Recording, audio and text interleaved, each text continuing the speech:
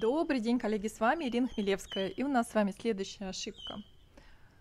Без клиентов вы не психолог.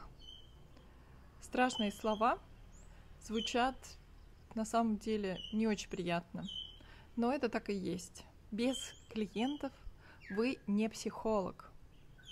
Если вы занимаетесь академической работой, если вы продолжаете учиться и не набираете клиентов, не практикуете, если у вас нет вообще ни одного клиента, как вы можете считать себя психологом? А, возможно, у вас даже в дипломе написано, что вы психолог. Возможно, вы закончили множество курсов, э, которые подтверждают ваше право работать. Но если вы не нашли клиентов, если вы не работаете, если вы не практикуете, то вы не психолог. К сожалению, это так. Недостаточно быть хорошим психологом, недостаточно быть идеальным психологом, недостаточно быть э, супер психологом.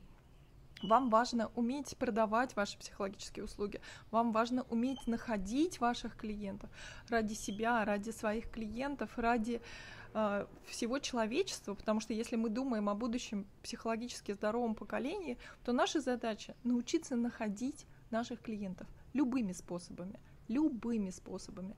Задача найти ваших клиентов.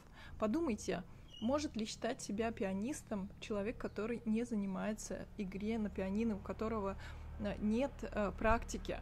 Может ли считать себя гитаристом человек, который не играет на гитаре, возможно, несколько лет не играет на гитаре? Э, и может ли он называть себя гитаристом? Нет, они не могут называть себя гитаристами или пианистами, потому что они не практикуют. А, у нас в психологии все то же самое. Пока мы изучаем что-то, а, пока мы пишем там, не знаю, диссертации и не работаем с клиентами в это время, мы теряем навыки. Мы теряем навык каждый день.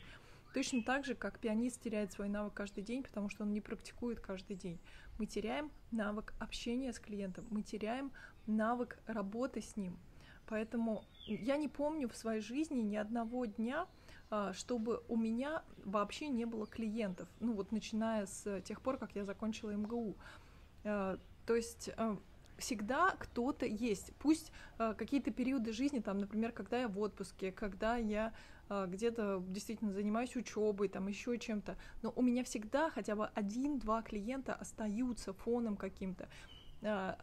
То есть э, даже когда вы уходите из деятельности, либо вы э, заболели, либо еще какие-то э, причины, когда вы прерываете свою деятельность, все равно где-то фоном вот один-два человека пусть остаются с возможностью к вам прийти после того, как вы восстановитесь, возможностью к вам прийти после того, как вы закончите вашу работу какую-то другую.